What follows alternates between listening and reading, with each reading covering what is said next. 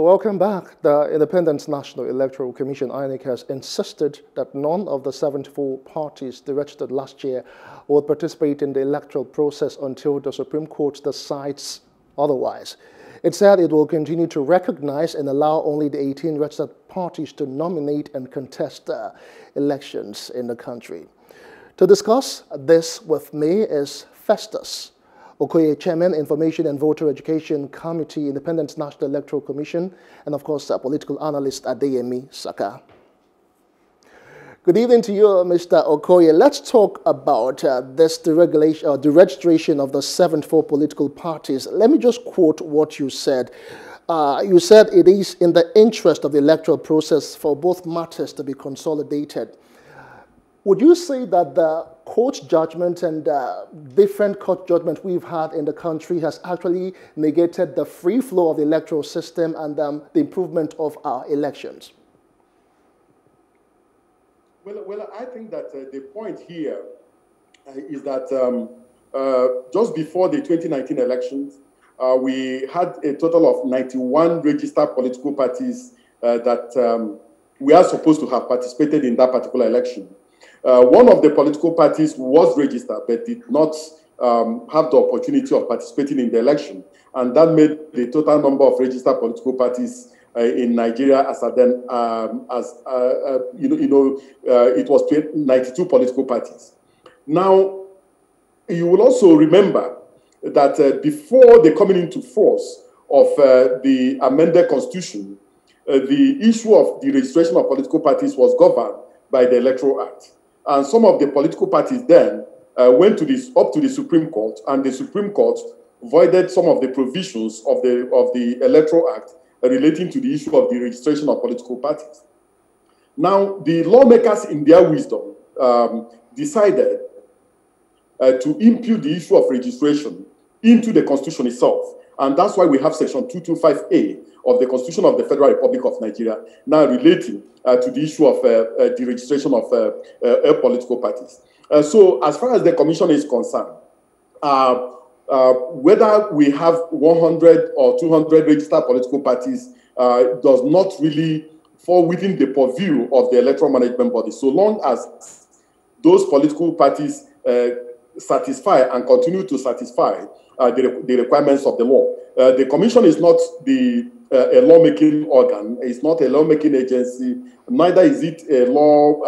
is, neither is it um, an adjudicatory body our position and our function is to register political parties that meet the threshold set in section 220 to section 229 of the constitution and also to deregister uh, political parties that fall off the radar of section 225a of, of the constitution uh, so uh, for, for us um, we want to remain within the, uh, the, the, the, confines and ambit of the constitution in our operations uh, so uh, political parties are part of the electoral process.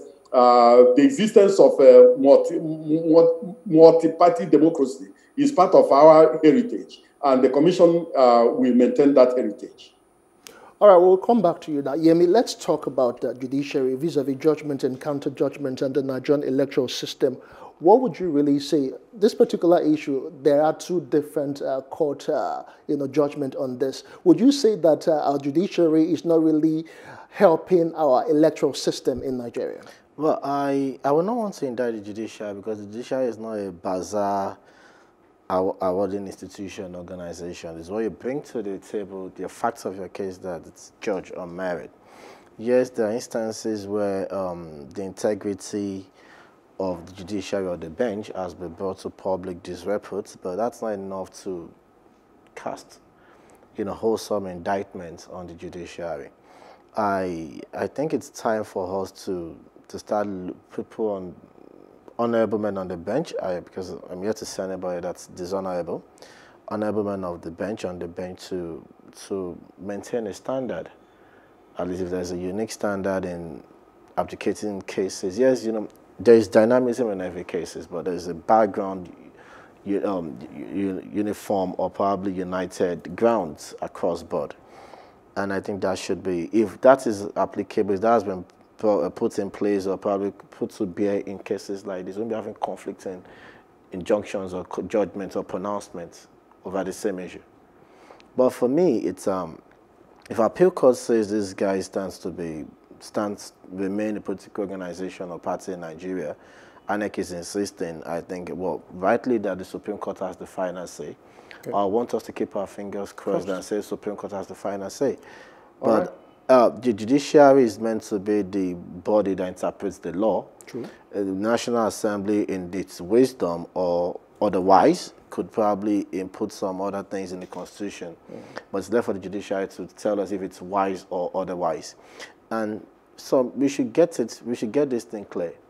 Even in the United States of America, we just talk about the Democrats and Republicans. That doesn't mean there are no other parties mm. in existence.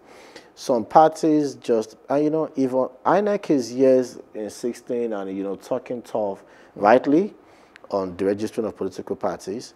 But they should, INEC should understand that even the political process, electoral process that INEC claims or probably wants to monitor, which has to, which one is um, the, the amount of money spent on elections. Mm which, is, which has not been done effectively. It's what brings about the bets of other political parties.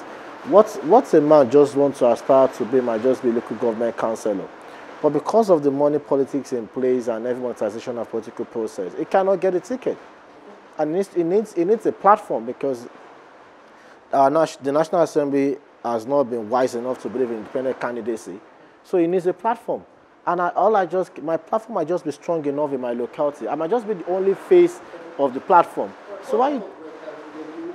About the relevance and of those platforms and how they have contributed to the electoral system. Uh, but uh, Mr. Okoye, there is this belief that uh, one of the reasons why INEC is going on about deregistering those political parties is that they are or you guys, that is the, your commission, is overwhelmed by the number of political parties.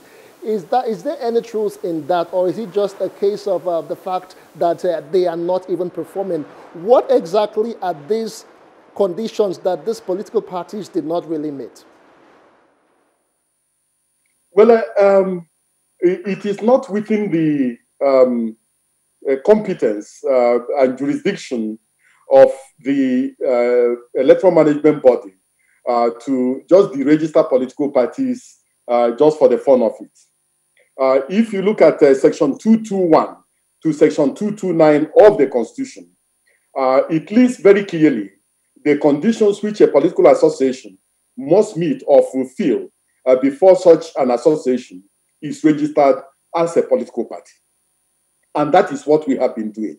The moment a political association meets those thresholds, the, con- the commission is under a constitutional and legal obligation uh, to register such a political association as a political party. However, the lawmakers in their wisdom also have also imputed into the constitution, which is the fundamental law of the land, conditions which a political party uh, uh, uh must meet in order to remain registered. Now, if you look at the amendment to the Constitution, especially Section 225A of the amended Constitution, it states clearly that the Independent National Electoral Commission shall have the power to re- register a political party for A, breach of any of the requirements for registration. So, if the Constitution says that a political party must maintain a, a, a verifiable office in the Federal Capital Territory, of Abuja, and a political party ceases to maintain an office in the Federal Capital Territory, of Abuja, the Commission is under a constitutional obligation to deregister such a political party.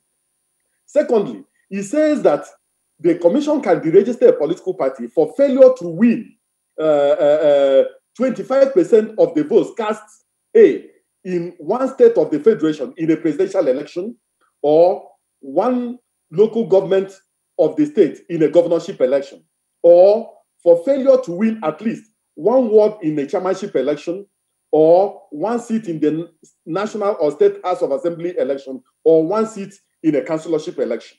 So the moment you fall outside this threshold, the moment you do not meet this constitutional requirement, the commission is under a constitutional obligation to deregister such a political party as a party, and then it can now operate as a political uh, uh, uh, association. So that is just the, the case.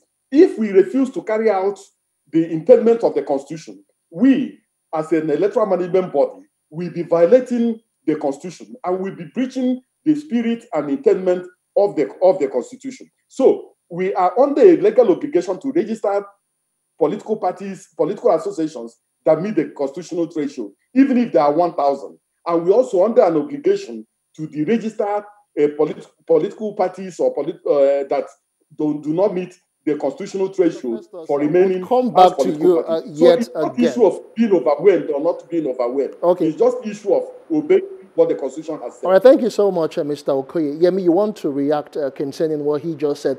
Plus, you do that. Let's find out the relevance and, uh, you know, do we really need as much political parties like that in Nigeria? So far, if you add the 74 to the 18 we have, that INEC has actually recognized there'll be about 92 altogether. Well, it's not. It's not a question of do you really need the numbers, such large numbers. It's a, is it their right to have it? If they're entitled to have it, so be it. It's not about whether we like it or not. Um, I I see the the provisions um, inserted by in their wisdom at the National Assembly, and I would say that is um, undemocratic. That is anti-people, and unless we want to lie to ourselves, um, INEC, INEC has not been conducting local government elections, I think since 2012, 2000, since 2003.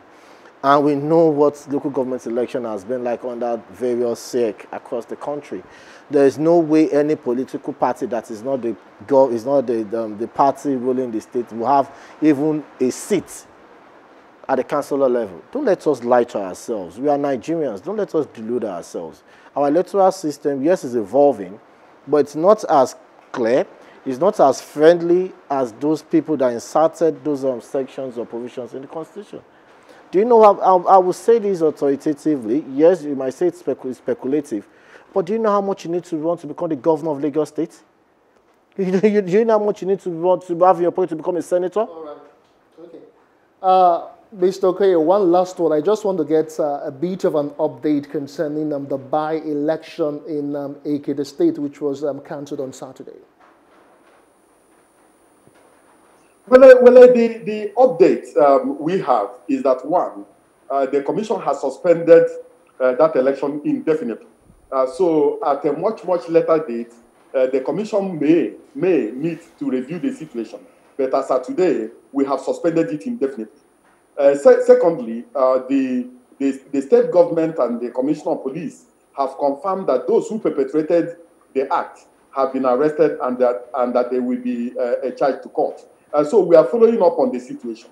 And we are very, really, really saddened by the turn of events uh, because this election took place in just, in, in just five wards, the half of a local government. So if we can violence in a state assembly election, it is it's a warning sign. Uh, it's not a good sign uh, for things to come.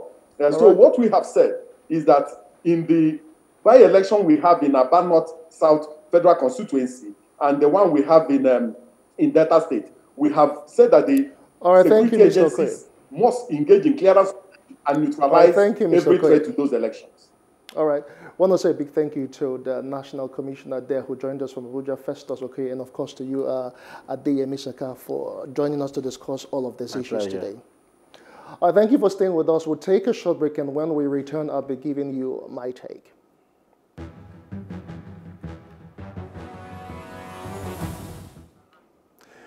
Well, Nigeria is not a banana republic, even though certain retrogressive elements and centrifugal forces are trying to consign Nigeria into a failed state. We still have a democracy and a nation of laws and not men.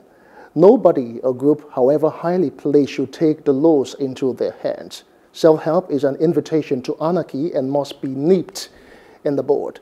It remains the primary responsibility of government, especially the federal government, who have the monopoly of the coercive forces of state to secure the lives and livelihoods of our people, however low or high.